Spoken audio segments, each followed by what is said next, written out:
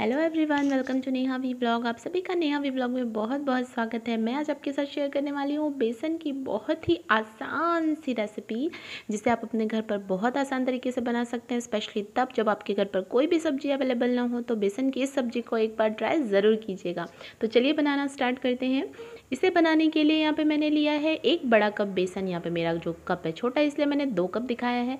उसके बाद इसमें मैं डाल रही हूँ थोड़ा सा हल्दी का पाउडर, थोड़ा सा लाल मिर्च का पाउडर और थोड़ा सा पानी। पानी आपको नॉर्मल ही लेना है, गर्म पानी की ज़रूरत नहीं है। इसे अच्छे से हमें कर देना है मिक्स। इसे वन डायरेक्शन पे ही कंटिन्यू मिक्स करते जाना है और ये लगभग मिक्स हो चुका था तो मैं इसमें डाल रही हूँ, टेस्ट के अकॉर्डिंग थोड़ा सा नमक थोड़ा सा जीरे का पाउडर और थोड़ा सा baking soda. Baking soda optional है, आप चाहे तो डालिए, अदरवाइज़ आप स्किप भी कर सकते हैं। तो ये जो बैटर है, रेडी हो गया है। इसके बाद हम चढ़ाते हैं गैस पर एक कढ़ाई। उसमें डाला मैंने थोड़ा सा तेल, आप जो भी तेल यूज़ करते हैं वो डालिए।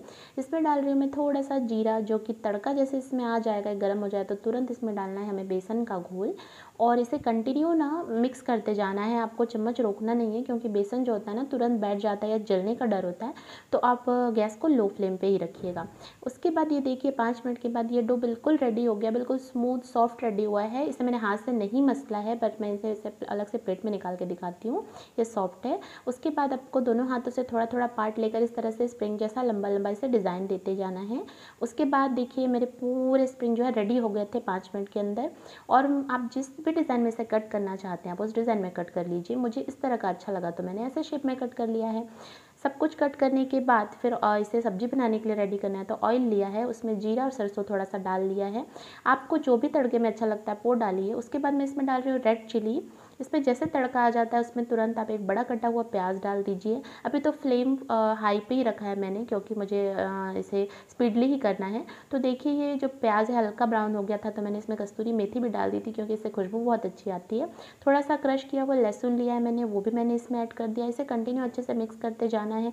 फिर थोड़ा सा मैंने इसमें टमाटर डाला है। टमाटर के बाद मैंने इसमें थोड़ा सा नमक डाल दिया था, ताकि टमाटर जो है ना, अच्छे से गल जाए।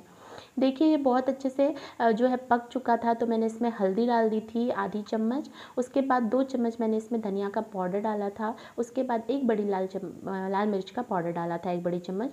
तो ये जो है अच्छे से मिक्स हो चुका था, इसे मिक्स करना है कंटिन्यू। इसके बाद मैंने कहा, जो मेरा होममेड जो दही है, फ्रेश दही मैंने वो डाला। ये बिल्कुल खट्टा नहीं है और ये डालने के बाद आपको धीमे धीमे धीमे आँच में इसे रखना है और मिक्स करना ताकि दही जो है ना फटे मन।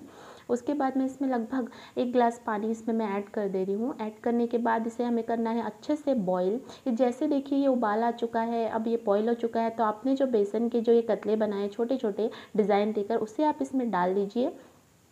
और ये देखिए मैंने सारे इसमें डाल दिए थे और ये धीमे आँच पे अच्छे से पक भी चुका है और अच्छे से बॉईल होकर एक गाढ़ा भी हो चुका है। तो मैं इसे हरे धनिया से गार्निश कर देती हूँ। ये बिल्कुल रेडी है सर्व करने के लिए और टेस्ट तो बहुत ही अच्छा रहता है इसका।